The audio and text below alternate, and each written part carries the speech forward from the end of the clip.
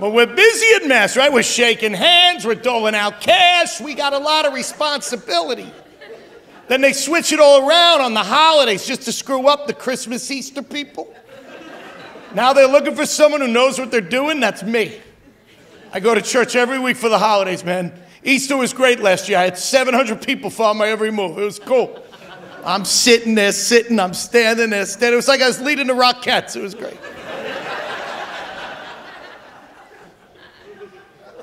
Christmas was even better. I brought my own basket.